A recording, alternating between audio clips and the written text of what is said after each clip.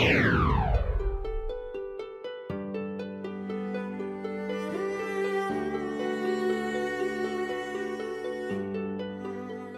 everyone, this is Banashree and welcome to my channel Muzenik Art. So this is the second part of the tutorial I posted last week, how to use the selection tool in Procreate. I'm so sorry I couldn't show you a proper example in the last video. Hope you will find this one better. But for the very basic things you still have to watch the previous tutorial. I will put the link at the end of this video if you want to check out. If you like my art and find my tutorials helpful, don't forget to subscribe to keep watching. So now let's begin. First let me show how we can edit a specific area of our artwork instantly using automatic selection and then I will share how to get the outlines from a colored drawing. But do remember this is applicable only if your artwork has clear lines. So to select an area using automatic selection, all you have to do is tap the area. And next I'm using threshold to make the selection accurate. When using threshold, make sure the plus sign is on the selected area which you want to adjust. Else you might end up selecting areas you don't need.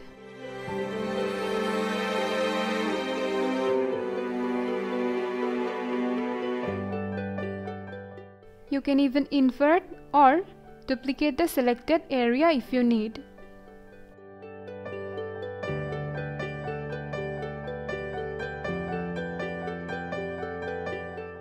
To close your selection, tap the transform tool or the paint tool to proceed further editing.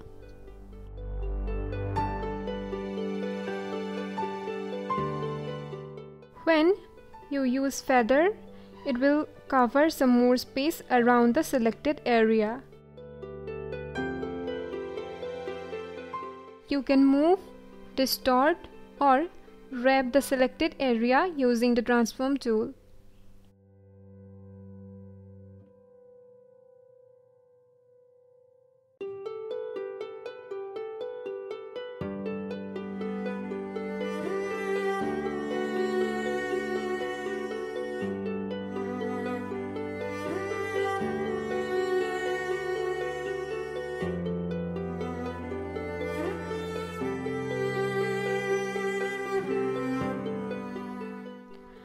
Now I'm using paint to color the selection.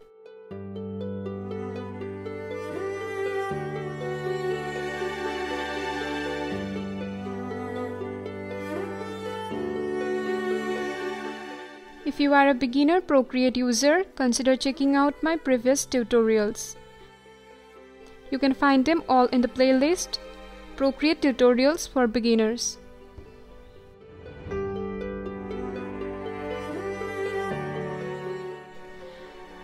If you would like to take my Skillshare classes or try my custom Procreate brushes, you can find the links in description box.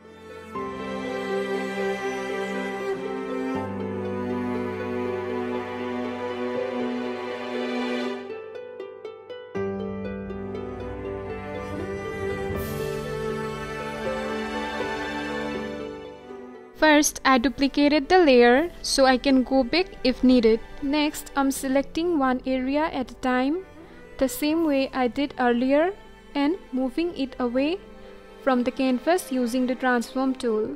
You can also erase it if you like. But moving it away saves a lot of time so I prefer that one.